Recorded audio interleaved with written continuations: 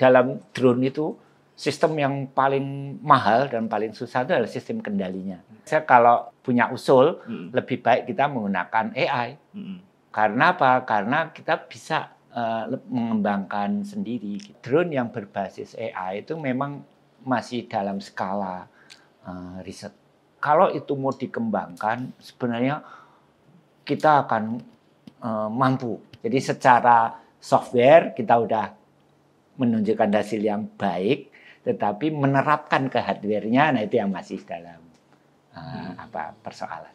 Sampai sekarang memang belum ada. Oke. ya jadi memang eh, apa namanya mungkin juga saling tunggu menunggu ya. Nah masalahnya adalah memang eh, support policy dari pemerintah untuk ayo kita menggalakkan misalkan hal seperti itu. Nah kemudian kita bisa apa namanya mulai dengan apa step kita define step-stepnya untuk mencapai itu dan nah, itu mungkin kita akan bisa eh, mengejar itu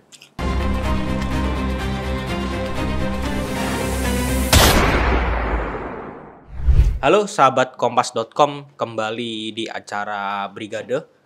Eh, saya Nirmala dan teman saya. Ya ya, Kita ini mau ngobrol apa? Ya, ya hari ini.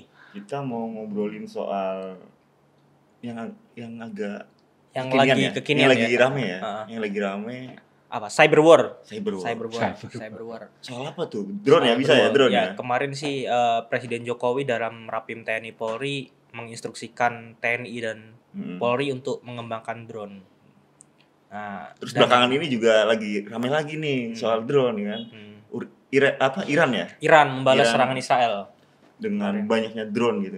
Drone dan rudal ratusan rudal dan drone. Seribuan kilometer lagi Iya. melakukan Iya. penjelajahan ya. Oke.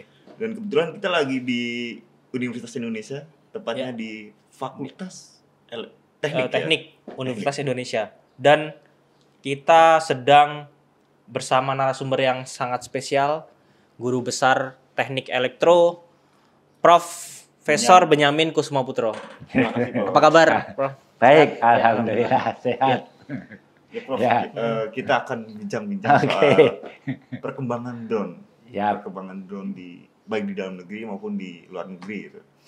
Tapi eh, sebelumnya kita akan eh, membahas gitu, membahas eh, sebenarnya sudah Prof sendiri sedang melakukan penelitian apa, sedang melakukan pengembangan apa gitu, terutama terkait dengan drone ya. ya Hmm. oke ya jadi sebenarnya eh, di dalam drone Hmm. itu sistem yang paling menentukan dan paling mahal adalah sistem kendalinya. Ya jadi eh, apa namanya motor dan segala macam itu eh, mudah murah tetapi yang paling penting adalah sistem kendali. Nah sistem kendali itu sebenarnya eh, ada dua eh, cabang ya keilmuan. Satu adalah sistem kendali berbasis matematika model.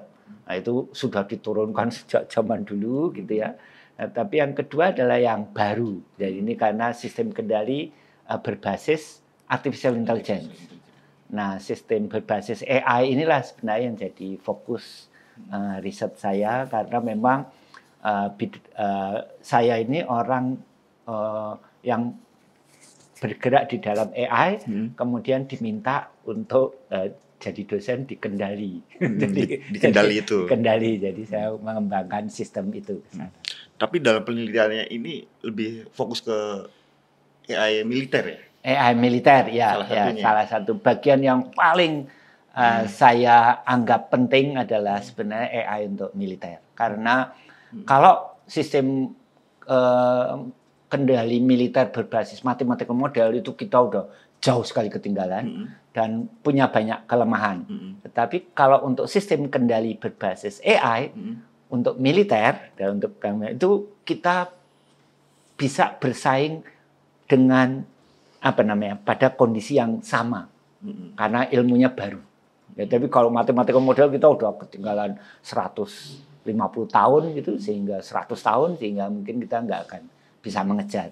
Hmm. Tapi kalau berbasis AI itu kita bergerak dalam eh, apa eh, taraf yang sama. Mm-mm. Nah, oleh karena itu kita bisa bersaing. Nah, itulah yang menyebabkan kita langsung aja loncat, Loncat. main di apa sistem kendali berbasis AI. Artinya ini akan menjadi kemajuan ya, kemajuan kemajuan militer Indonesia untuk apabila ini dipergunakan oleh negara gitu. Ya setuju. Kalau kalau apa kalau ya rasanya akan akan akan lebih baik. Kalau untuk sekarang sebenarnya ada berapa jenis drone sih, Prof? Terutama untuk yang dikembang sedang di, yang ber, dikembangkan di Indonesia seperti itu. Jadi eh, pada prinsipnya drone itu kan ada yang eh, berbasis kopter, jadi ada yang quadcopter, hexacopter dan sebenarnya itu semakin kopternya semakin banyak, daya angkatnya semakin tinggi dan semakin panjang. Tapi kelemahannya ada pada baterai. Jadi karena baterainya itu waktu hidupnya paling cuma 30 menit sampai 30 menit lah rata-rata. Nah oleh karena itu maka drone yang berkembang kemudian adalah yang punya sayap eh, fixed wing. Nah, kalau sayap fixed wing itu kan seperti pesawat, jadi dia bisa punya bahan bakar, dia eh, jarak apa tempuhnya panjang, jauh dan waktu tempuhnya juga lebih lama, ya sehingga daya jangkaunya lebih luas. Nah apa eh, itu eh, punya tujuan lain ya. Jadi kalau itu bisa dikendalikan dengan apa mesin yang lebih cepat, ya berarti dia bisa lebih powerful dan seterusnya. Nah, yang eh, ketiga sebenarnya yang berbasis roket, gitu. Jadi kombatan itu ya. kombatan. Kombatan ya. betul. Jadi kalau ini eh, dia roket tetapi jadi drone karena dia juga bisa dikendalikan karena dia bisa Hmm. memakai apa namanya banyak sensor-sensor banyak Hmm. itu untuk untuk mengendalikan apa, posisinya. Kalau kalau bicara drone dalam negeri ya, Prof. Ya, Ke- eh, sekitar satu tahun atau dua tahun yang lalu kan masyarakat juga eh, pernah dengar dengan Iya. drone elang hitam. Elang hitam. Itu cukup familiar walaupun Iya. pada akhirnya dalam penelitian ini kan di bawah BRIN ya iya, diberhentikan ya. Berin- iya, Yang berubah lah, berubah da- yang sifat tadinya kombatan menjadi eh, surveillance, Surveillance. surveillance gitu kan. Iya. Sebenarnya kalau dari pandangan Prof sendiri untuk eh, di dalam negeri sendiri untuk mengembangkan drone sendiri gimana sih Prof? Apakah Iya. sudah bisa gitu untuk untuk Indonesia sendiri? iya. Ah, sebenarnya kembali lagi, jadi dalam drone itu sistem yang paling mahal dan paling susah itu adalah sistem kendalinya. Nah, menurut saya eh, elang hitam, saya tidak tahu persis ya, Hmm. tetapi menurut saya elang hitam pun itu masih memakai sistem kendali mathematical model. Hmm. Jadi apa namanya, maka sistem kita akan sangat bergantung kepada eh, apa jumlah sensor yang lebih banyak, Hmm. kemudian dan itu semua mungkin akan sulit untuk dikembangkan di dalam negeri. Hmm. Hmm. Jadi makanya saya kalau punya usul Hmm. lebih baik kita menggunakan AI. Hmm. Karena apa? Karena kita bisa le- mengembangkan sendiri. Gitu. Ini yang sedang diteliti oleh Prof gitu kan. Ya, Salah satunya eh, ini. betul, Hmm. betul. Jadi kita memang eh, apa melakukan riset terkait Hmm. dengan sistem kendali Hmm. eh, drone berbasis AI. Hmm. Untuk eh, drone sendiri kan Prof banyak meneliti soal eh, AI dalam drone gitu. Iya. Ya, kerjasama dengan militer seperti apa, Prof?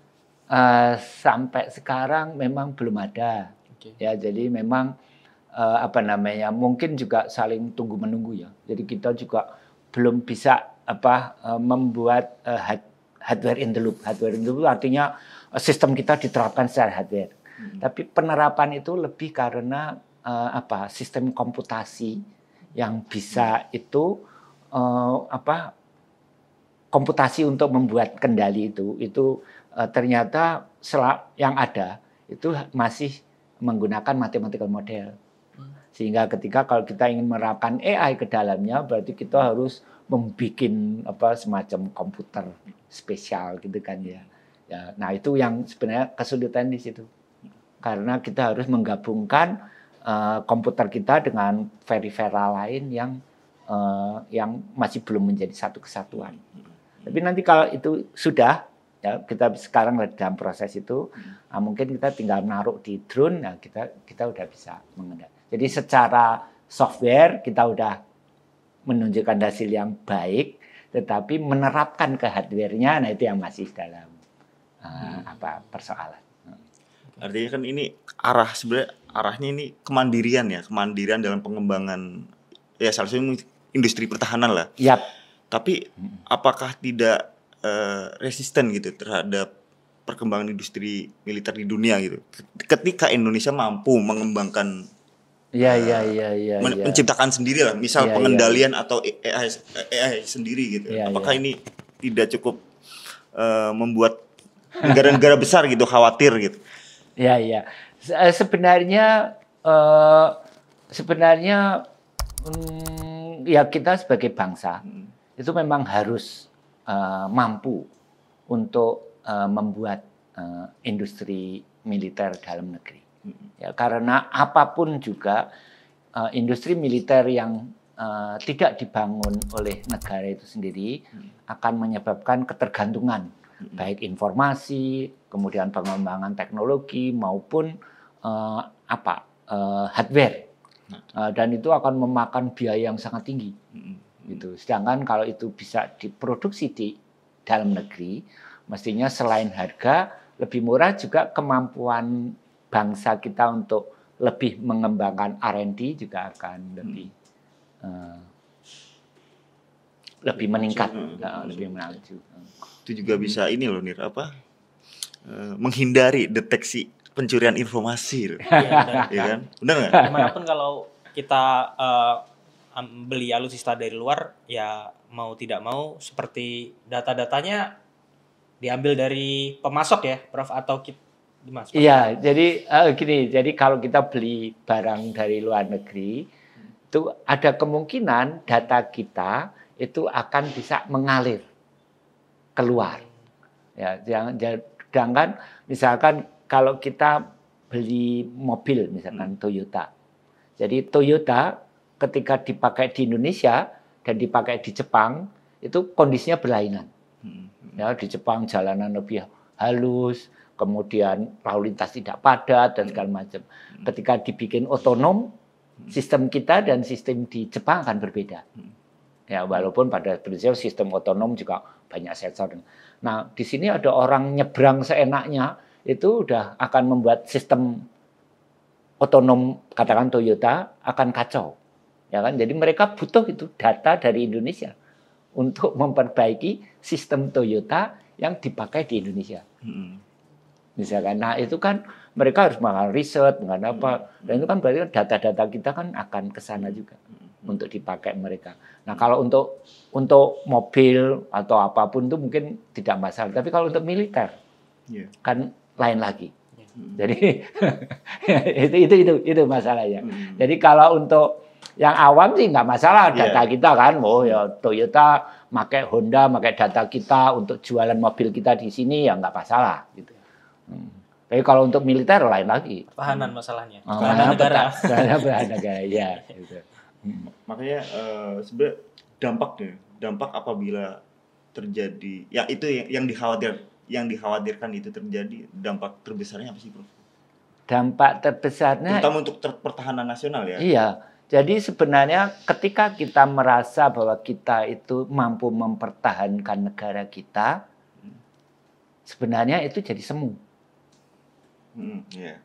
Karena sebenarnya ketika data-data kita sudah tidak ada di kita, berarti ya selama orang itu tidak mengatakan dan tidak menggunakan, ya berarti kita merasa bahwa kita Masih. masih punya masih. kemampuan untuk Iya. mempertahankan negara. Tapi kalau kalau dia membuka data kita ketika berkepentingan terhadap kita, maka sebenarnya kita ya tidak punya pertahanan sama sekali. Hmm, hmm, Ah, ma- itu ekstrim, hmm, ekstrim hmm. ya. Tetapi keadaan itu sebenarnya yang yang yang berbahaya. Ini Nir, apa kalau bicara ini balik lagi soal drone ya. Ini Hmm. soal drone, terutama drone kombatan. Kalau di Indonesia kan untuk TNI kan baru ini ya. Baru Ya, surveillance ada. Surveillance. untuk enggak untuk Nah. TNI AD, TNI AD belum ada kan? Belum ada, belum ada, belum ada pusatnya yang Hmm. mengendalikan dari satuan mana belum ada. Baru TNI AU dan TNI AL ya. Dan itu semua Oh. drone-nya drone Hmm. dari luar negeri ya. Dari luar negeri. Iya. Ini art- artinya ada ada ada potensi kan, ada potensi yang bisa dimanfaatkan dari dalam negeri melalui ya Hmm. pen- ya salah satunya lewat penelitian-penelitian seperti ini kan bahkan lebih maju lewat artificial intelligence ini gitu. Iya. ah. terkait teknologi drone saat ini ya, terutama yang militer, Prof. Iya. Sejauh mana sih yang eh, Prof ketahui perkembangan drone militer? Iya. saat- Terutama Ya. di dalam negeri.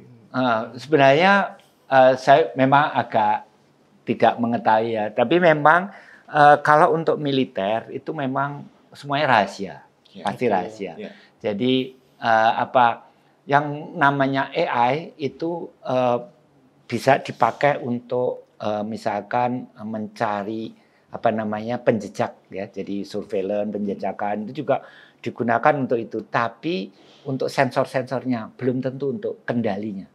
Hmm. Jadi untuk pengendali itu memang masih masih anu ya, rasanya masih masih belum banyak kayaknya yang karena memang eh, persoalannya memang eh, apa memang rumit, Nah, memang rumit. Jadi masih eh, saya belum belum terlalu yakin bahwa itu sudah dipakai dengan dengan apa dengan masif. gitu.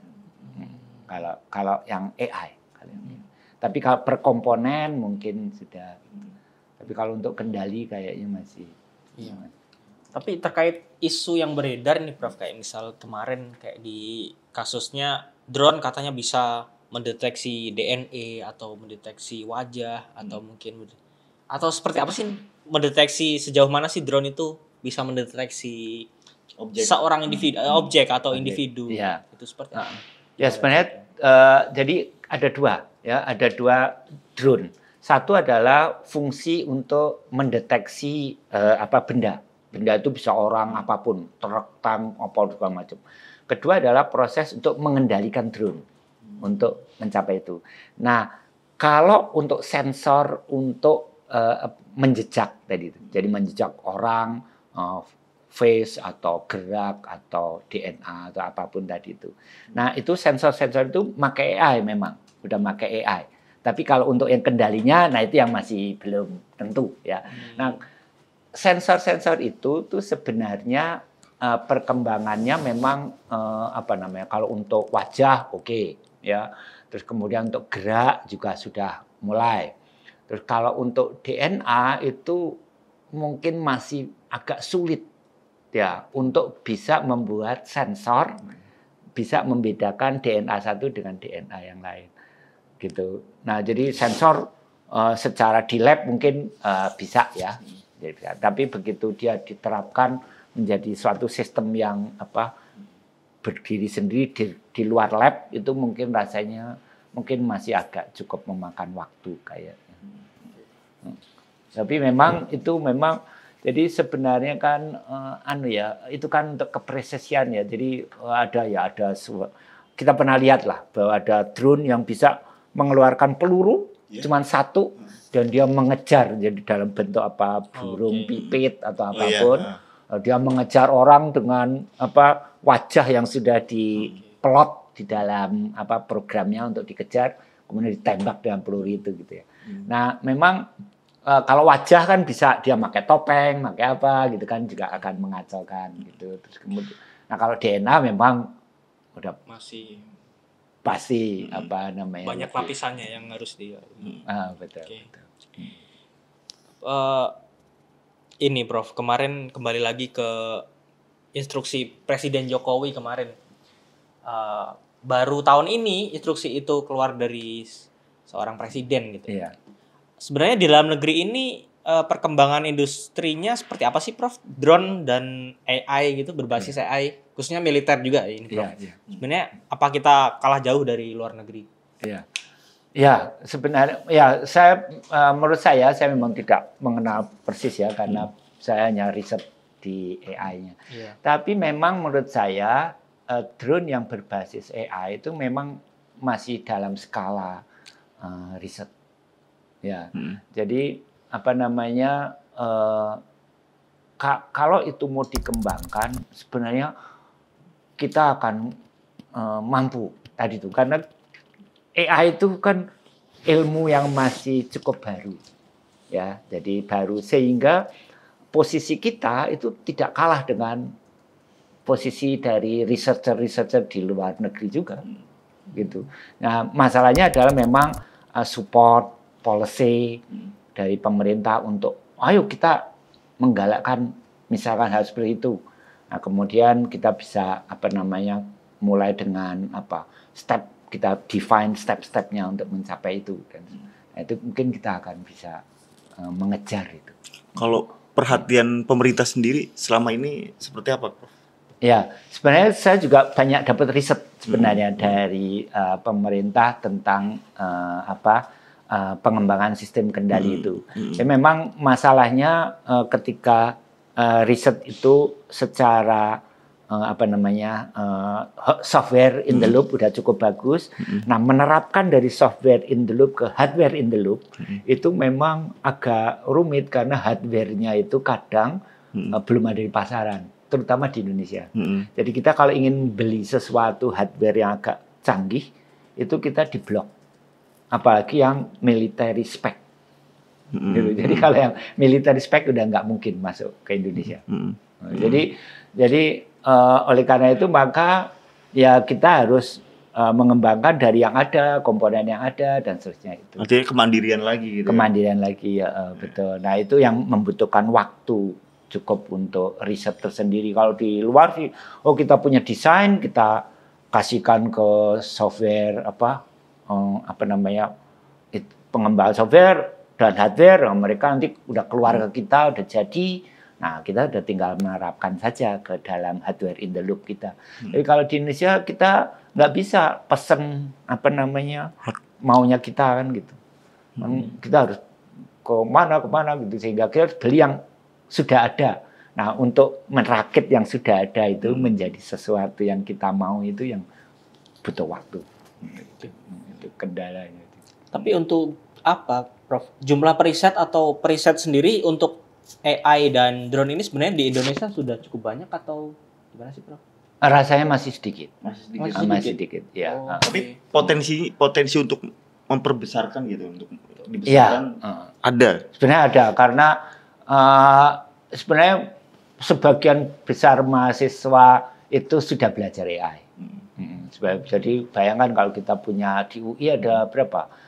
Sepuluh ribu, eh, mungkin dua ribu, sekitar dua ribu, mungkin jadi 20 persennya udah udah mengenal AI lah. Ya, jadi dalam bentuk eh, anu ya. Tapi kalau untuk menggunakan saja mungkin bisa jadi 70-80 persen udah menggunakan yang menggunakan menggunakan saja gitu. Tapi kalau mengembangkan mungkin sekitar 10 sampai 15 persen rasanya udah mampu untuk mengembangkan itu. Jadi kalau kita kumpulkan seluruh Indonesia dengan jumlah itu mestinya ya cukup banyak. Sebenarnya ini untuk pengembangan drone ini selain jadi apa ya untuk mandirian pertahanan kita, Nir, ini Hmm. juga jadi alternatif gitu. Ketika Hmm. ya kayak misal kita beli pesawat tempur Ya. yang terbaru kan Rafale ya dari Prancis itu, Rafale, itu kan mengeluarkan budget besar. Ya. Iya. Hmm. ya pemerintah sebaiknya juga apa ya, meluangkan waktu gitu, memperhatikan Mengembangkan peng- ya mengembangkan drone gitu kan melakukan apa dirawat memberikan lagi. per- perhatian terhadap peneliti peneliti benar Benar benar benar, benar sekali. Nah. Terakhir Prof, ini Iya. kan eh, mungkin ada ada gium pertahanan terbaik adalah menyerang gitu. Terus Iya. kemudian ada nggak sih masukan dari Prof untuk militer Indonesia terkait pemanfaatan drone ini? Ya, jadi pertama drone itu murah. Drone murah. Drone itu sangat murah, murah sangat murah. Jadi eh, apa eh, apa namanya dibandingkan dengan pesawat, maintenance segala macam itu akan sangat besar. Jadi pengoperasiannya akan murah. Jadi kalau kita tidak punya cukup dana, Mm-mm. sebenarnya drone itu akan sangat baik untuk untuk apa namanya Alternatif untuk ya? alternatif pertahanan Mm-mm. ya dan kalau kita juga harus menyerang Mm-mm. maka dengan drone juga lebih aman untuk apa untuk keselamatan apa eh, apa misalkan pilot Ya. Contohnya- atau- contoh Personil. besarnya dari Iran itu yang peristiwa Iran setuju penyerangan Iran, Iran Setuju. Iya, betul. Jadi itu menunjukkan bahwa eh, dengan harga yang murah, dengan apa, eh, misal harga murah jumlahnya banyak dengan satu pesawat, Mm. tapi efek deterannya akan sangat berbeda. dan daya jangkaunya Daya jauh jangkaunya juga akan berbeda karena kit- dan lagi ketika ada manusia menjadi korban, Mm-mm. itu ada efek psikologis Mm-mm. terhadap eh, apa namanya manpower yang lain. Mm-mm. Tetapi kalau drone yang yang tembak, yang Hmm. mati, drone Hmm. mati, Mm. itu efeknya kan kecil. Mm. Nggak ada manusianya, harganya murah. kan. Mm. Eh begitu pesawat tempur ada manusianya, Mm. wah itu akan ma- makanya sekarang pesawat tempur pun sudah harus menggunakan AI kan di dalam. AI. Jadi supaya untuk menggantikan eh, manusianya itu sendiri. Mm. Nah itu akan akan nanti akan berkembang ke arah sana. Jadi apa eh, sebenarnya kan AI itu kan prinsipnya adalah menggantikan eh, cara kerja otak manusia. Nah sekarang otak manusia kan harus yang betul-betul ahli. Jadi kita punya ahli satu, nah kita kemudian clone dalam bentuk dalam bentuk program. Nah kita masukkan ke dalam pesawat-pesawat yang sejenis gitu. Nah mereka akan bertindak sama seperti kalau pilotnya itu sendiri yang bekerja. Nah itu yang menyebabkan murah karena pilotnya kan bisa cuma hanya beberapa orang yang benar-benar hebat, tapi dia bisa diklon menjadi program-program komputer yang bisa bekerja seperti dia. Nah Ya. itu yang menyebabkan. Oke. ya kita harapkan penelitian Prof Benyamin berjalan lancar gitu bisa dipakai oleh negara Ya. ini ya, catatan benar. untuk Kementerian Pertahanan ya dan ya bener sih. Biar Bener? bener. Biar lebih efektif juga Mm. kan karena katanya memasuki cyber war ya, perang Ya, cyber ya. sebelum Yang memasuki itu minimal lapis. kita harus mandiri dalam indu- industri pertahanan Iya. Tergantung nanti kebijakan pemerintah seperti apa ya. ya ya itu Ya, ya, ya. Siap, terima kasih Prof waktunya. Semoga penelitian terkait drone dan artificial uh, artificial artificial intelligence lebih berkembang di Indonesia dan berkembang dan bisa dimanfaatkan oleh negara negara. Masukan buat Kementerian Pertahanan ya, dan catatan TNI khusus catatan dan khusus. Polri, aparat-aparat keamanan ya. Hmm. Oke, eh, kita tutup brigade kali ini. Jangan lupa saksikan episode-episode selanjutnya. Terima kasih. terima kasih banyak dah